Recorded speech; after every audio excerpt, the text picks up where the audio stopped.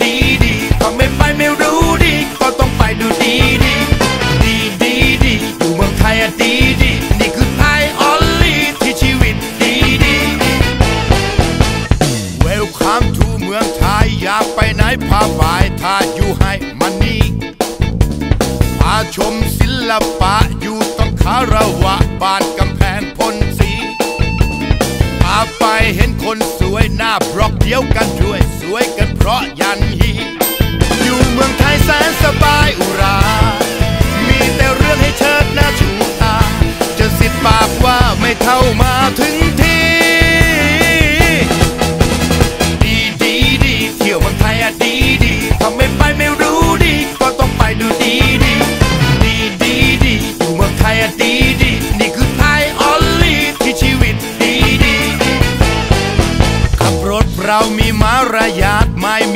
มีปาดพริกอยู่ไร